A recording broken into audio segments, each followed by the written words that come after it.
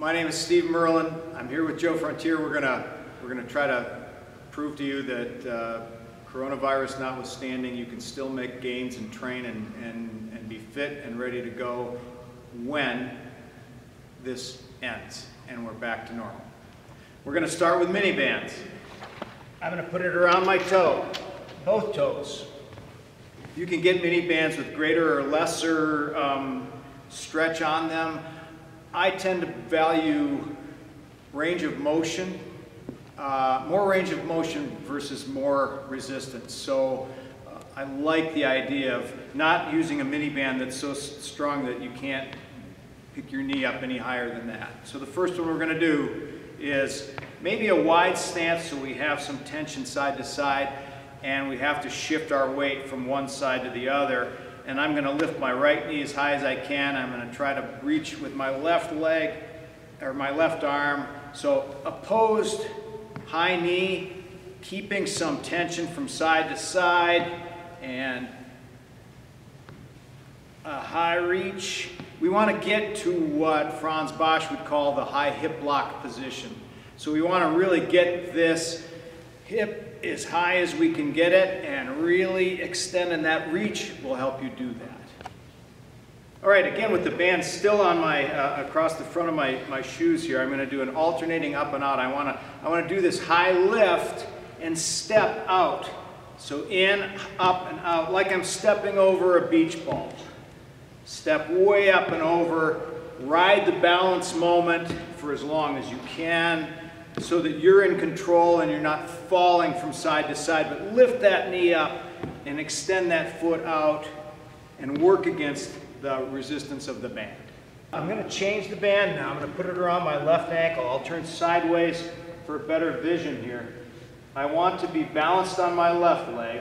I want to go down as low as I can possibly be here and stay here. I want to, I want to keep this angle assembly pretty constant, and now balanced, and I want to push back, and you could even reach out as you do this. But what we don't want to do is up and down. We want to stay low, do like 8 to 10 reps, and then switch the, the, the yep. band from one foot to the other, and uh, ankle and toe. Establish that low position, get your balance point, and then reach back and don't fall over. Now we're going to do a, a balanced movement again. We're going to try to work on the inside of the legs. This is an area with mini bands that often doesn't get reached because if I've got the band around, I'm really working on the outside of my hips more than anything else. So all I'm going to do here is balance, cross this foot over. And so I'm balanced on my left foot. And what I want to do here is pull that toe up to the side of this knee.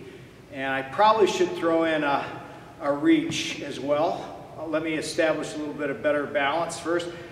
What you're going to find is arms really matter. They matter when you run. If you tried running like this, you'll figure it out. Invite your arms to the same party your legs are going to, and balance comes with them.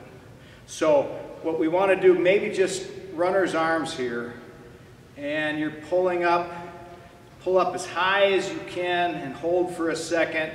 And after about three or four reps, you're going to start to feel the adductors on, on your legs go to work. And then you're going to change and you're going to repeat the whole thing on the other side. And pay attention to differences. So if I find that I'm, I'm having an easier time balancing on my left foot than I am on my right foot, that's good information to have. It might be because you sprained your right ankle, you know, in, in eighth grade and it's still playing you up. But anytime you find a difference from one side to the other, that's really good information for an athlete to have. Now I'm going to go down to the ground and I'm going to keep the band around my right, uh, the forefoot of my right shoe. I'm going to loop it and try to keep it from rolling around my left knee. Now I'm on my side and I want to make sure I keep this from rolling, just keep this there. And now with this basis, so here uh, perpendicular to my trunk, I want to extend straight away and I want to reach the top arm over as the top leg extends away. And in this case, I think I would try to point through your heel rather than point your toe. You want that'll keep the band um, right where you want it. And you really want to extend and take your time on this so when you get here, you experience that feeling of co-contraction and hip lock.